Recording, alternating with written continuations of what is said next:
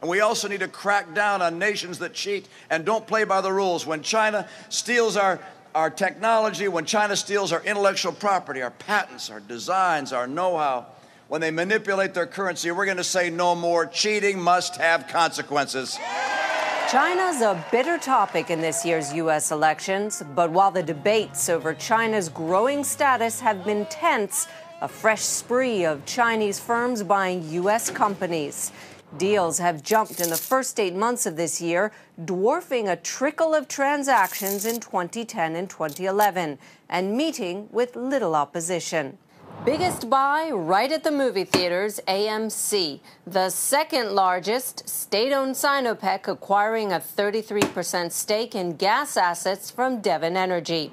Other deals are also high on the value chain, ranging from the purchase of a bankrupt aircraft maker to an offer for a Massachusetts producer of rechargeable lithium batteries used in electric cars.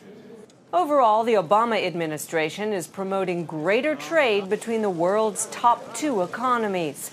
But on a global scale, China's U.S. investments pale in size to its buying sprees in other nations. To the north, CNOOC's $15.1 billion bid for Canadian oil producer Nexen. If completed, it would be China's largest overseas purchase this year. State run CNOOC's bid to buy U.S. firm Unocal seven years ago was sunk by a political backlash. Since then, Chinese firms have shied away from big U.S. deals. When you're looking at uh, China wanting to take interest in what would be viewed as a strategic asset, be it the US ports, be it a US uh, uh, petrochemical company, uh, then I think the response from Washington would definitely be no.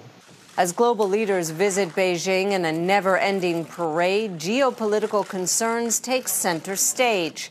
But as the surge in China's U.S. investments show, behind the veneer of politics, cross border deals are still getting done.